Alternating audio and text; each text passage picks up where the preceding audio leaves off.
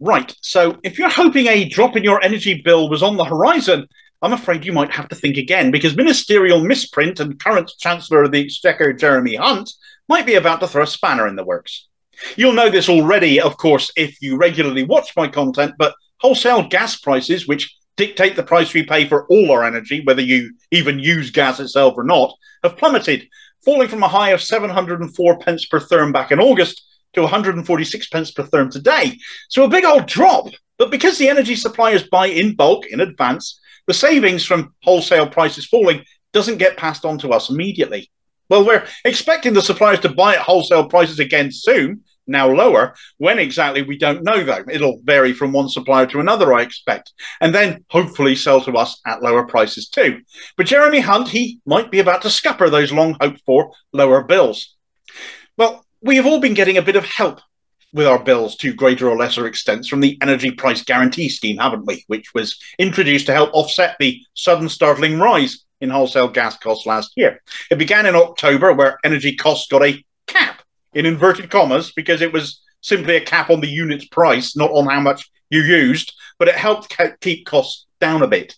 The cap currently sits at £2,500, but Hunt is set to let it rise to £3,000 in his March budget, meaning we will all have to find more of the cost of our energy once more, even though our bills won't necessarily have come down by then. In fact, they aren't likely to have done. Along with the extra government help towards bills coming to an end as well, the £400 we've all had, some of us have had more depending on circumstances, the two combined could see bills rise by up to 40%. That's 40% on top of where our bills still are now, still unmanageable for far too many people, even if you're working. And all of it happening despite wholesale prices falling? It's utterly demented, downright cruel, and completely unnecessary. Well, as you might have guessed, this is something Martin Lewis has waded into. And to be honest, for those of us with an inkling as to how UK economics really works, he stated the obvious by saying Hunt needn't let the energy price guarantee rise. It's his choice to do that.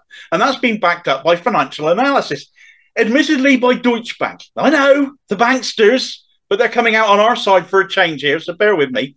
And they've said the cost of maintaining the cap where it is at two and a half thousand pounds would only cost four and a half billion which, yes, is a huge amount of money, but is a fraction of what they've already spent on the scheme. And the difference it would make to ordinary people waiting to see their bills fall is huge. It's putting people first. Hunt is cutting off support before such changes come in because he's putting the economy before people. Who exactly is the economy supposed to work for again? So why is he doing it? He must have somebody to blame. It's got to be someone else's fault. That's what Tories do when they choose to go full on nasty party, isn't it? So who is he pointing the finger at?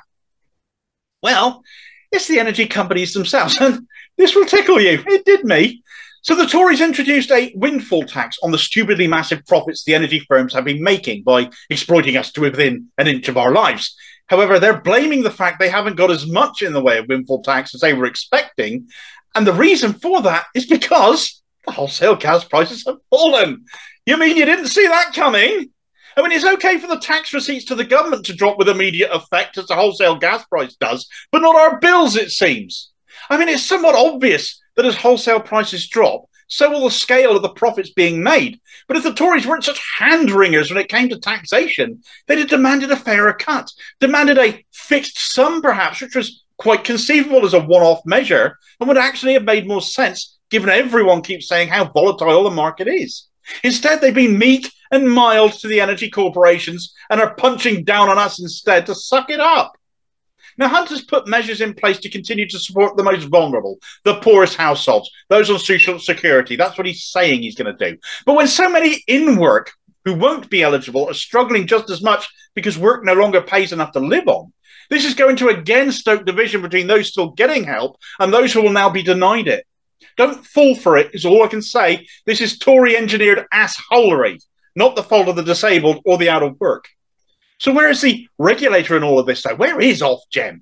Well, as a non ministerial government department, laughably referred to as an independent watchdog, they're very much watching and not doing very much helping.